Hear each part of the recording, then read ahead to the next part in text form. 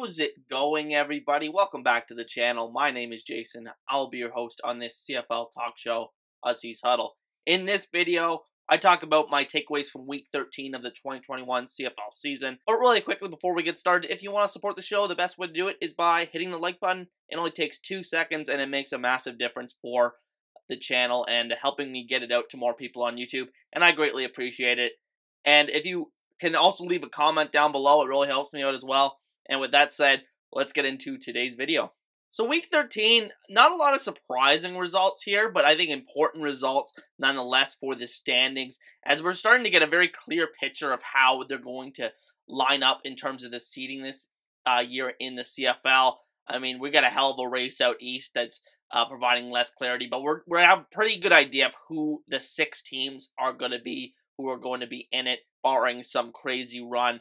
Uh, but we'll talk about that in a minute.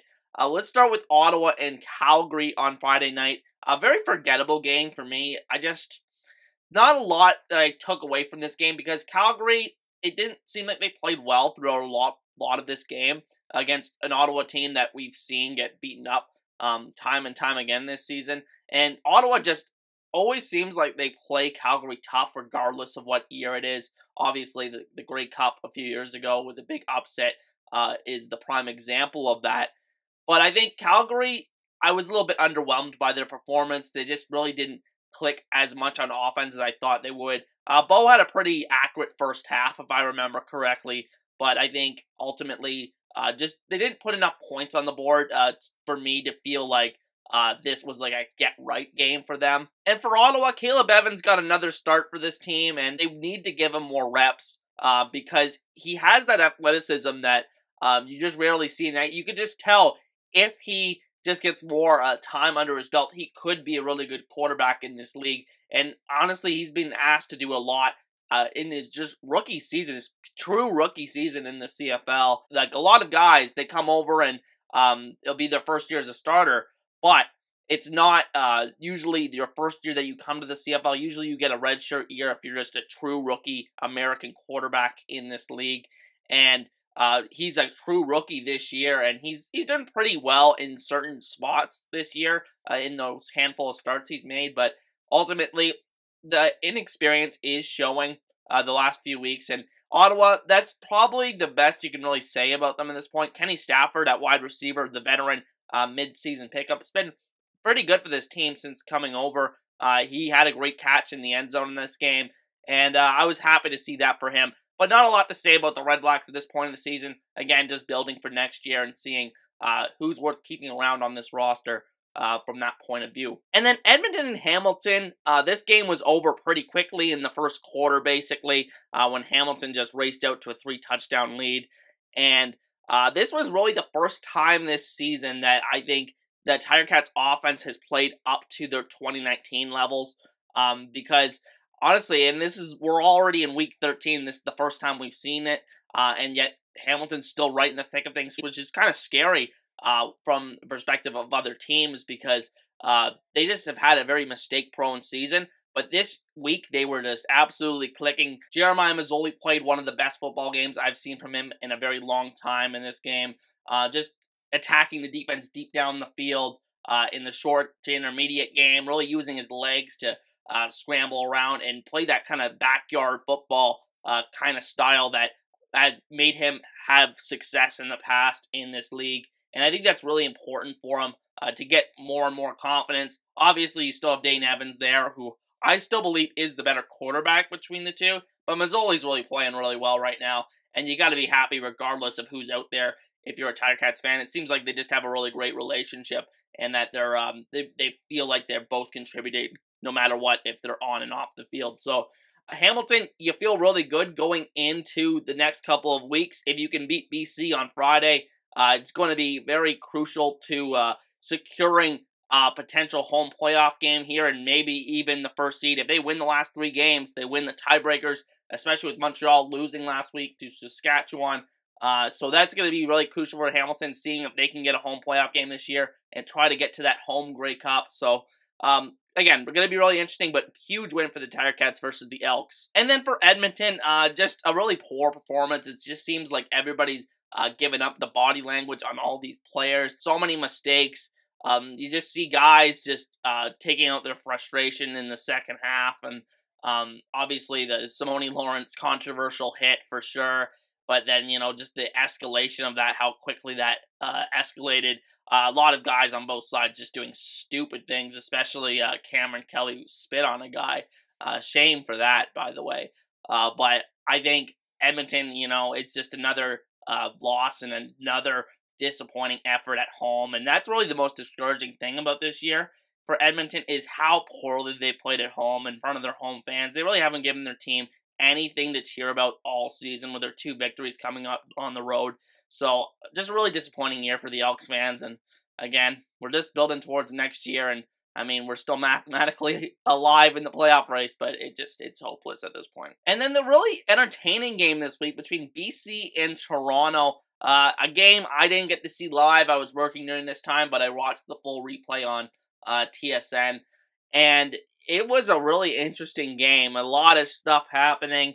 Um, obviously, I think BC they desperately needed this game, and they played like it. I mean, they didn't come out of the gate really strong. I mean, they surrendered the ten nothing lead to start the game, but you saw the way they battled back. I thought Mike Reilly had a very gutsy effort. He's just one of the uh, most likable guys in the league. I think just the way he's uh, he's played behind this poor offensive line uh, for the last few years and just taking hit after hit, keeps getting up. Just a really tough guy.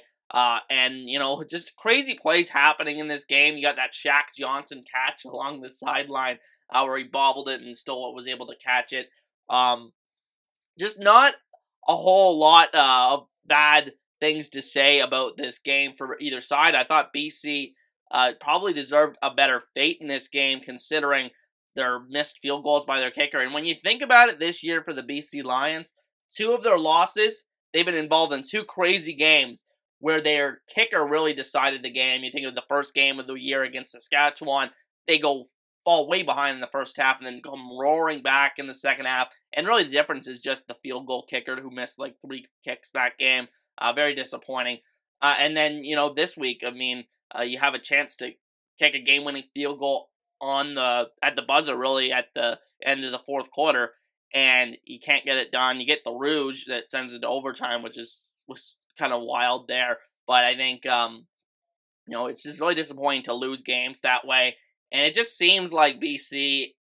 I mean, they're still technically alive, and if Calgary can go on a skid there, um, maybe they sneak in here. But it just seems like they've lost hope, falling to four and seven, and uh, they're just a long shot to make the playoffs at this point, in my opinion. For Toronto, it wasn't a very impressive performance, especially from this offense. Uh, McLeod Bethel Thompson, I didn't think he played that terribly. I mean, he had some really bad misses. I mean, uh, there was one on like a, a slant and go, and uh, he had a guy wide open. It would have been for basically. Um, but he completely missed that one. But there was other plays that I seen his receivers just not make the plays for him.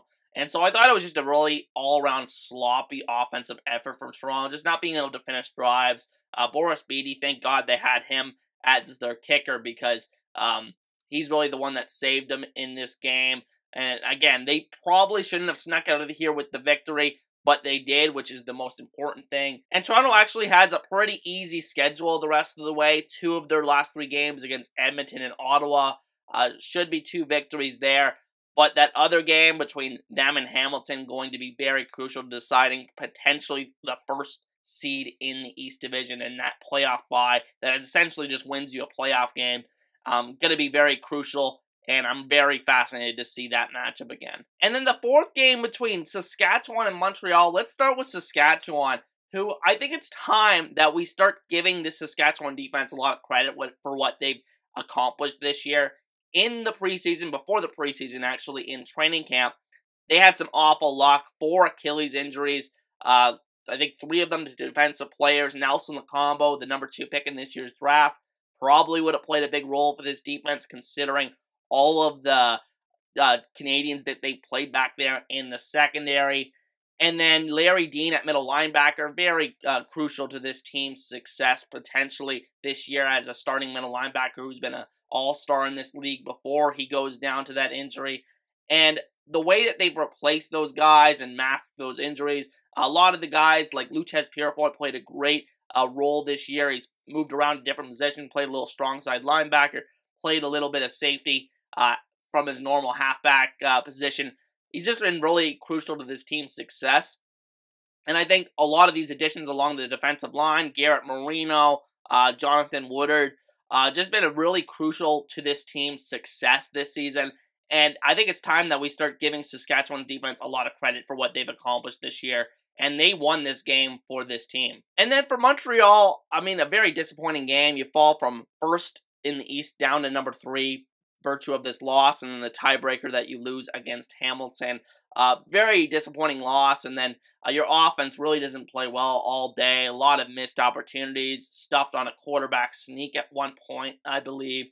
Um, a lot of bad miscues, a bad interception by Matthew Shiltz, who ultimately has one of those bad games. Not one of the worst games we've seen from a quarterback this year, but um, just a really disappointing game that uh, was definitely a step backwards for this offense. And then they pull the trigger and put Trevor Harris in for the final uh, half a quarter, and he actually looks pretty good. I mean, you just see the experience. I think the processing and the quicker decision making is there, and that's the advantage of going to Trevor Harris there. And when he was in there, he was actually moving around really well. This offensive line didn't play any better when he came in there, but Trevor Harris was just avoiding tacklers and actually scrambling for yards, and that's something we didn't see this year in Edmonton. A guy that's never been known as kind of a rusher in this league. Uh, but he was using his legs, and that's very a good sign for the Alouettes going forward. And I think ultimately they are going to start Trevor Harris. They definitely were not just going to bring him in to be the backup. I mean, I think that was the plan all along was him to start at some point. The expectation it was like if Shiltz has a great run and um, no disrespect to Matthew Shiltz, but if he has a great run, yes, he can hang on to the job. But I think that uh, the likelihood was just Shiltz having a bad game and then Trevor Harris taking over and um, being that experienced quarterback that could potentially win them some playoff games. Remember, there's only one quarterback in the league that's won a playoff game the last two seasons, and that's Trevor Harris. And I think a lot of people, for all the hate that this guy gets, I think he's uh, one of the better quarterbacks in this league still. And I think the surrounding situation in Montreal is much better uh, than he had at Edmonton because I think the offensive line, their head coaching situation's a lot better. Play calling, I think Khari Jones is just a really good communicator. Uh, they have these big play vertical wide receivers that can uh, you get the ball in their hands and they can make a play for you. Um, a good combination of different targets, intermediate targets. William Stanback in the backfield. So I think those are great signs for Trevor Harris going forward. These matchups against Winnipeg are going to be huge for the Alouette season. Then they finish with Ottawa, I believe. So I think they probably have to win one of those games against Winnipeg if they want to hope of finishing with um, a home playoff game out of all of this. But again, disappointing effort this week against Saskatchewan, and uh, we'll see how they bounce back. But with that said, those are just my thoughts about week 13 in the CFL. Be sure to let me know in the comments section about all of the above of what was talked about in this video. And with that said, I'll see you guys next time. Peace.